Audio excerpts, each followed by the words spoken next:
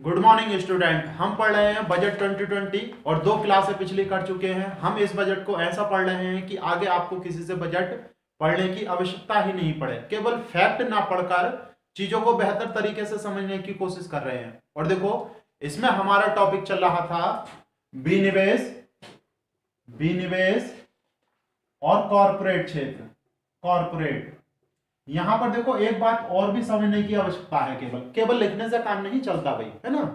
तो समझने की कोशिश करो, ये पूरा जो बजट है, ये आपका पूरा जो बजट है 2020 मतलब 2020 का या 2020 वन के लिए, इसे चाहे तो प्रत्यक्ष रूप से मतलब डायरेक्ट या फिर अप्रत्यक्ष रूप से।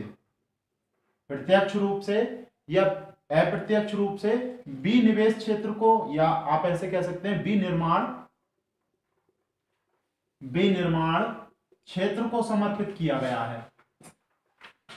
समर्पित किया गया है। सही है। इसका मतलब क्या हो गया देखो? विनिर्माण क्षेत्र का मतलब है मैन्युफैक्चरिंग जहाँ पर वस्तुओं का निर्माण होता है। आप इस बात को बहुत ध्यान से समझना, क्योंकि आने वाली बहुत सारी चीज़ है, क्योंकि इंफ्रास्ट्रक्चर हम पढ़ने वाले हैं, आधारभूत चीज़ें वो भी इसी चीज़ को ध्यान में रखकर बनाई गई हैं और बहुत सारी योजनाएँ हैं, क्योंकि देखो, अभी जो पर्यटन को विकास देने के लिए मतलब पर्यटन पर्यटन को विकसित करने के लिए ये चीज़ें की गई हैं तो इससे भी हम इसी क्षेत्र में जाएँगे। मतलब चाहे तो डायरेक्ट हम देखें या इनडायरेक्ट देखें, हर चीज़ में इसे इंटरफेयर करने को या आप ऐसे कह सकते हैं, इस पर फोकस किया गया। कैसे? विनिर्माण क्षेत्र क्या होता है? आप ये समझे पहले तो। जो विनिर्माण क्षेत्र होता है, आप ये कह सकते हो जहाँ पर वस्तुओं का निर्माण किया जाता है। कोई भी वस्तु हो, एक छोटे से पेन से लेकर एरोप्लेन तक की चीज़ें जिस मार्केट में, जिस बाज़ार में बनाई जाती हैं, उसी को कहते हैं विनिर्माण क्षेत्र। चप्पल बनाने की फैक्ट्री, वो इसमें आएगी। जूते बनाने की, पेन, पेंसिल, कार, मोटरसाइकिल, सब बनाने की फैक्ट्रियाँ इसी के अंतर आएँगे। और यही निर्भर करता है मतलब इसी पर किसी देश की विकास दर निर्भर करती है। विकास दर कि वो देश कितनी तेज़ी से विकास कर रहा है, सारी बातें किस पर निर्भर करती हैं? विनिर्माण क्षेत्र पर। इसमें जितनी ज़्यादा वस्तुओं का निर्माण होगा, इस बाज़ार के अंदर जितनी ज़्यादा वस्तुओं का निर्माण होगा, उस देश की विकास दर उतनी ही ज़्यादा होगी। और ये विकास दर को हम बिल्कुल सिंपल शब्दों में जानते हैं, G D P, gross domestic product. इसे पूरा डिटेल से हम इकोनॉमी में पढ़ते हैं। अभी बिल्कुल सिंपल सिंपल लैंग्वेज में आप समझने की कोशिश करें। जीडीपी का मतलब है, ज़्यादा से ज़्यादा वस्तुओं का निर्माण होगा तो जीडीपी भी क्या होगी? ज़्यादा। अब देखो डायरेक्ट और इनडायरेक्ट डायरेक्ट वे में तो यही कह सकते हो कि तीन लाख करोड़ से भी ज़्यादा के बजट में बढ़ोतरी की गई। तो वो भी एक क्षेत्र है, क्योंकि अगर तीन लाख करोड़ रुपए, तीन लाख करोड़ रुपए बजट में बढ़ाए गए हैं। तो इसका मतलब क्या है? वो चाहे तो प्रत्यक्ष रूप से या फिर अप्रत्यक्ष रूप से बाज़ार में ज़रूर आने हैं। अगर बाज़ार में आएँगे तो सीधे किस पर प्रभाव डालेंगे? विनिर्माण क्षेत्र पर। कैसे देखो? जब व्यक्ति के पास ज़्यादा पैसा होगा, ज़्यादा पैसा होगा तो निर्माण भी क्या होगा? ज़्यादा। और फिर जो मतलब दो प्रकार के व्यक्ति होते हैं मार्केट में, एक तो उत्पादक हो गया और एक हो गया उपभोक्ता। तो अगर दोनों के पास पैसा है, उत्पादक के पास पैसा है तो वो ज़्यादा से ज़्यादा वस्तुओं का निर्माण करेगा और उपभोक्ता के पास पैसा ज़्यादा है तो वो ज़्यादा से ज़्यादा चीज़ों को खरीदेगा। अगर ये दोनों काम ज़्यादा होते हैं तो उस देश की विकास दर भी क्या होती है? ज़्यादा होती है और जीडीपी भी क्या होती है? ज़्यादा। और पिछले कुछ वर्षों में या पिछले कुछ महीनों में या समय में हमारी जीडीपी पिछले दस वर्षों के निम्नतम स्तर पर जा चुकी है। तो इस चीज़ से मुक्ति पाने के लिए, या आप ऐसे कह सकते हैं, इसमें सुधार करने के लिए ये जीडीपी हमारी क्या हो? ग्रो अप हो, प्रत्यक्ष रूप से या अप्रत्यक्ष रूप से विनिर्माण क्षेत्र को ही फोकस किया गया है। तो देखो, इसमें एक दो बातें हैं कि इस इस बजट में ये कहा गया है कि हमारी जो अर्थव्यवस्था है इकोनॉमी वो आने वाले कुछ वर्षों में विश्व की, या फिर आप ये कह सकते हैं पाँच ट्रिलियन डॉलर की हो जाएगी। कितने? पाँच ट्रिलियन डॉलर की हो जाएगी। इसका मतलब क्या है? देश की तीस, विश्व की तीसरी सबसे बड़ी अर्थव्यवस्था हमारा देश बन जाएगा। और वर्तमान में कौन सी है? तो देखो बजट 2020 में ये बताया गया है, वर्तमान में हमारे पास 2.94 ट्रिलियन डॉलर की अर्थव्यवस्था है। हमारी कितनी है? इतने डॉलर की अर्थव्यवस्था है। और ये विश्व में पांचवा स्थान रखती है, पाँचवें स्थान की। तो ये मोस्ट इंपोर्टेंट बात है। वन लाइन क्वेश्चन है आपका ये, कि भारत की जो अर्थव्यवस्था है 2.94 ट्रिलियन डॉलर की है और विश्व में कौन से स्थान पर है? इसका मतलब क्या हो गया अर्थव्यवस्था? जो हमारे बाज़ार की वैल्यू है वो कितनी है? इतनी वैल्यू बिल्कुल बेसिक शब्दों में समझने की। फिर तो इंटरनल तो बहुत सारी चीज़ें हैं वही इसमें। तो ये फैक्ट वन लाइन है आपका। आपको याद रखना है कि वर्तमान में हमारी अर्थव्यवस्था लगभग तीन ट्रिलियन क्योंकि पॉइंट ज़ीरो सिक्स ही तो कम है भाई।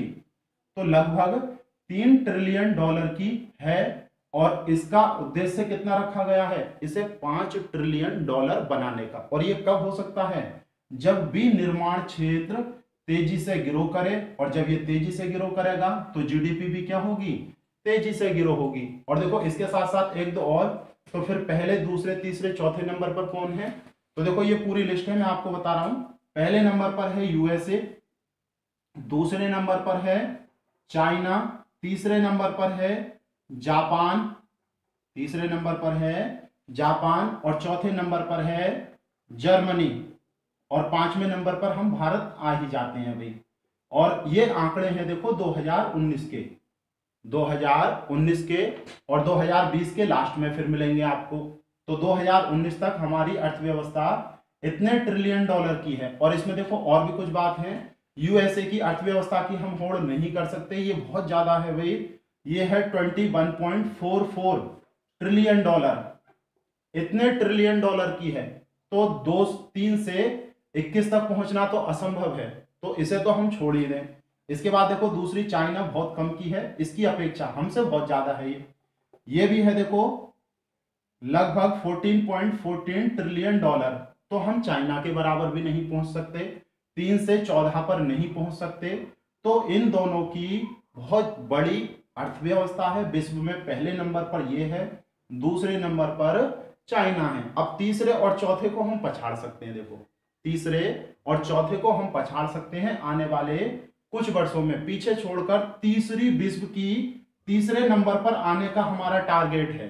विश्व में तीसरी सबसे बड़ी अर्थव्यवस्था बनने का हमारा टारगेट है। तो आप जापान की देख सकते हैं, मात्र 5.15 ट्रिलियन डॉलर की अर्थव्यवस्था है। तो थोड़ी सी ही कम है भाई। अगर हमने पाँच हासिल कर ली तो पॉइंट वन फाइव हासिल करना कोई बड़ी बात थोड़ी है। और अगर जर्मनी पर जाएँ तो जर्मनी से थोड़े ही पीछे हैं भाई हम। 3.86 ट्रिलियन डॉलर। मात्र जर्मनी की ये है। और ये आंकड़े हैं सरकार के कि अगले एक या दो वर्षों में हम जर्मनी की अर्थव्यवस्था को पछाड़ कर कहाँ पहुँच जाएँगे? हम चौथे नंबर पर पहुँच जाएँगे।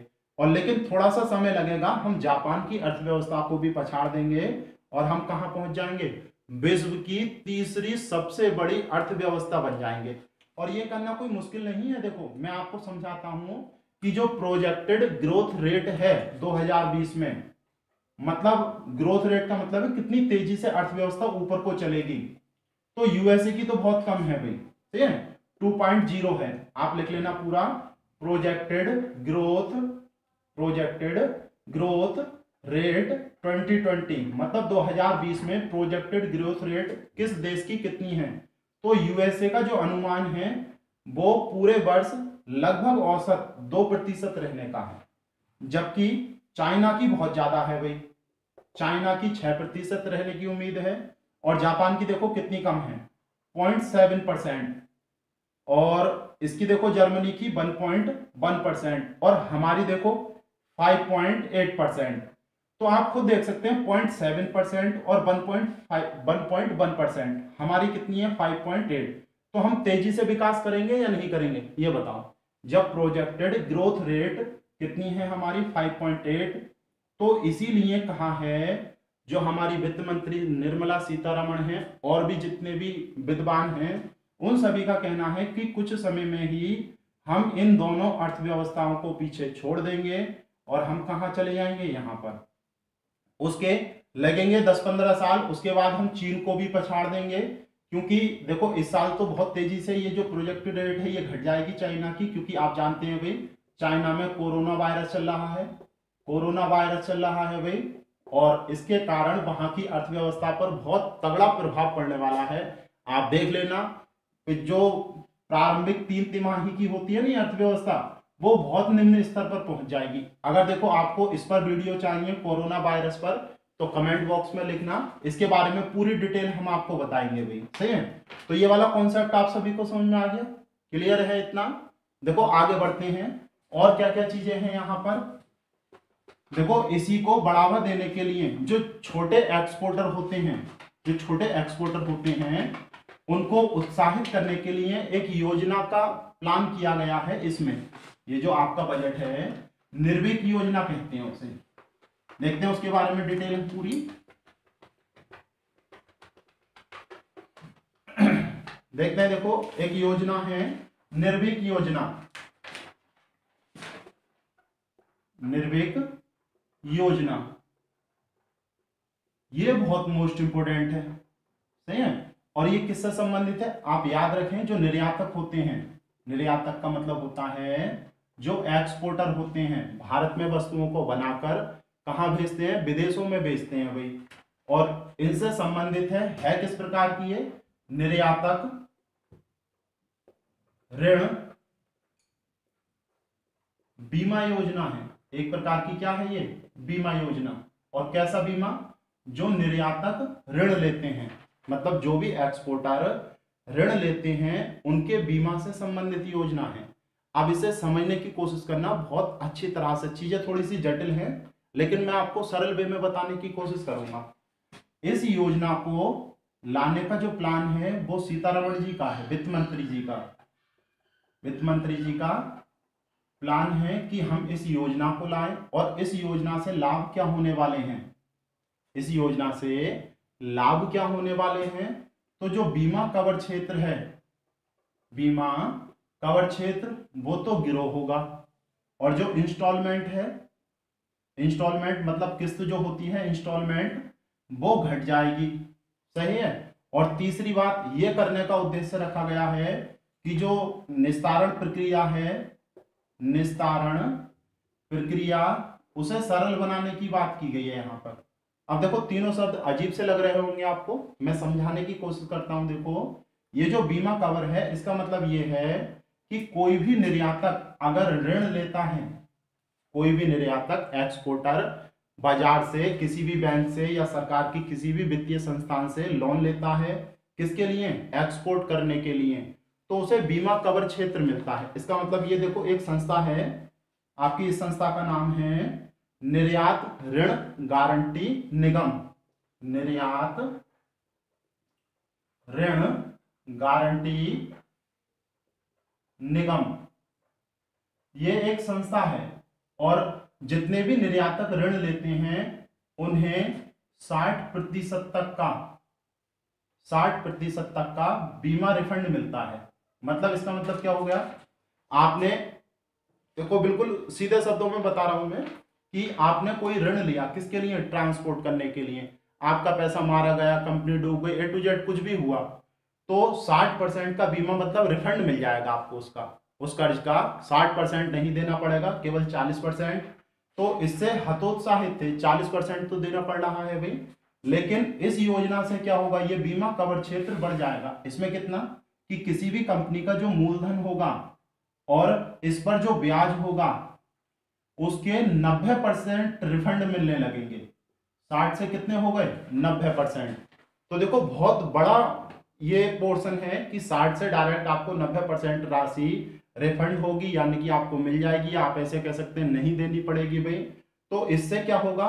जो छोटे निर्यातक हैं, इससे होगा क्या? मतलब लाभ क्या होगा?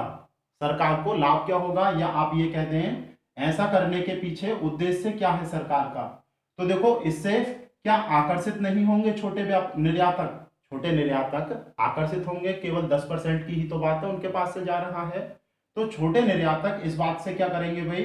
ज़्यादा से ज़्यादा निर्यात ऋण लेंगे। ज़्यादा से ज़्यादा निर्यात ऋण लेंगे और यही इस योजना का उद्देश्य है कि ज़्यादा से ज़्यादा ज़्यादा से ज़्यादा निर्यात ऋण निर्यात ऋण वितरित किया जाए।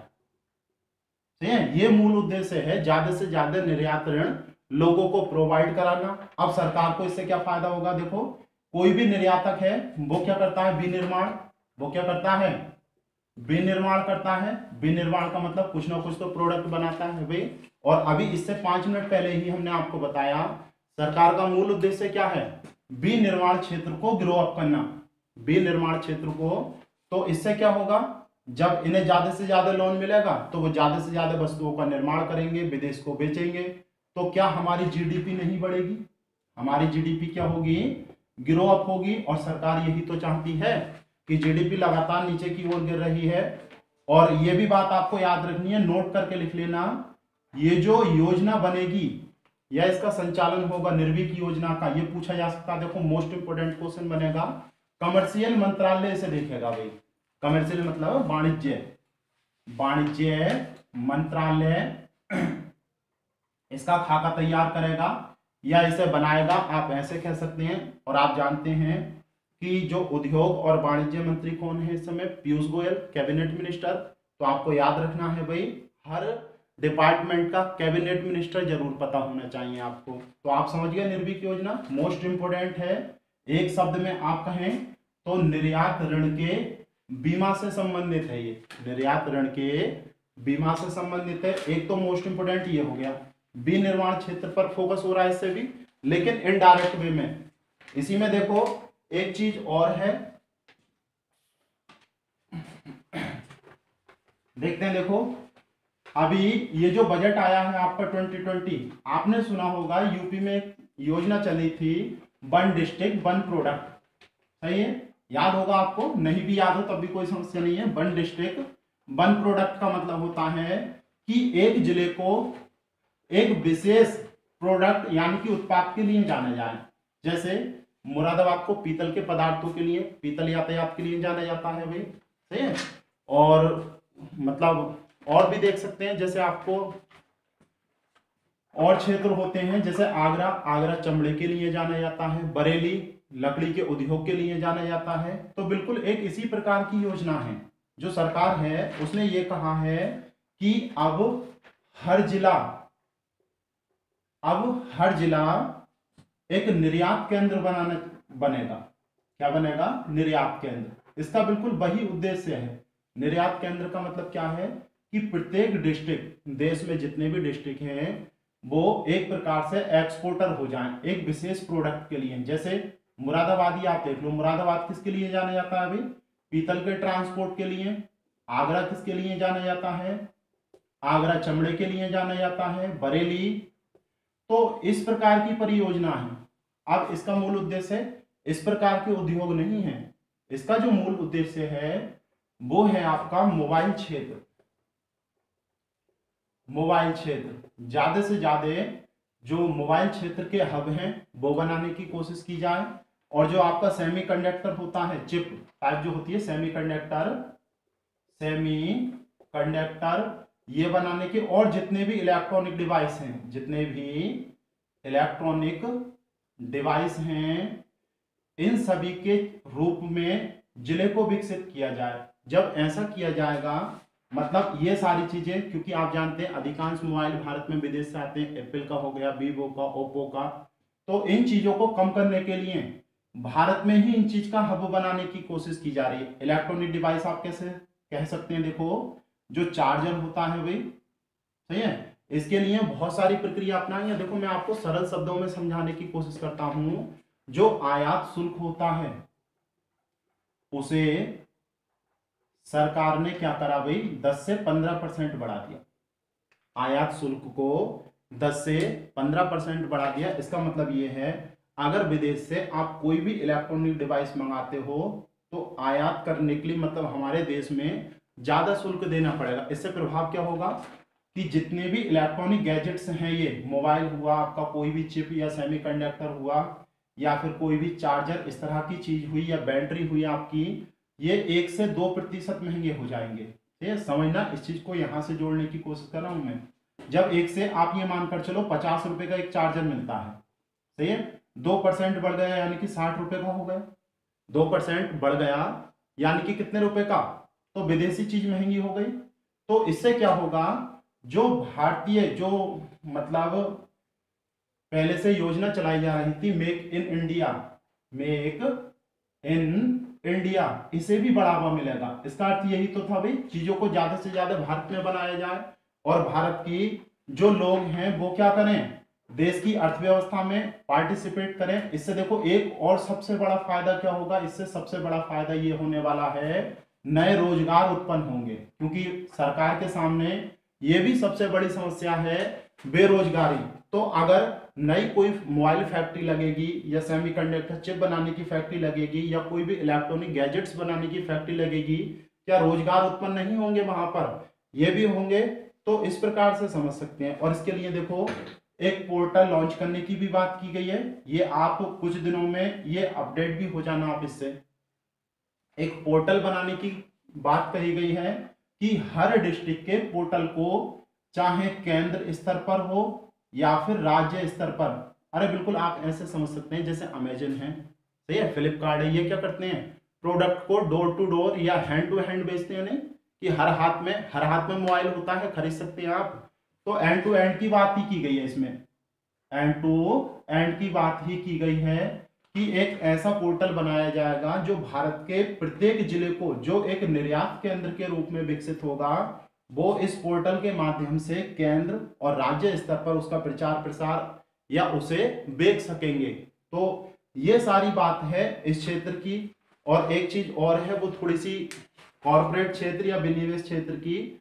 वो जुड़ी हुई है आपकी बैंक क्षेत्र से, वो बताने के लिए बहुत कुछ बताना पड़ेगा। तो बैंक वाला टॉपिक पढ़ के हम इसमें, उसके बाद उस पर आएँगे। इसके बाद देखो, अगला हम फिर इसके बाद पढ़ने वाले हैं, जो देखो, ज़्यादा लंबी हो रही वीडियो। आज थोड़ी सी मतलब समझाने वाली चीज़ें ज़्यादा थी। अगला टॉपिक हमारा, ये वाला आप कंप्लीट मान सकते हैं। इंफ्रास्ट्रक्चर होगा, आधारभूत संरचनाएँ।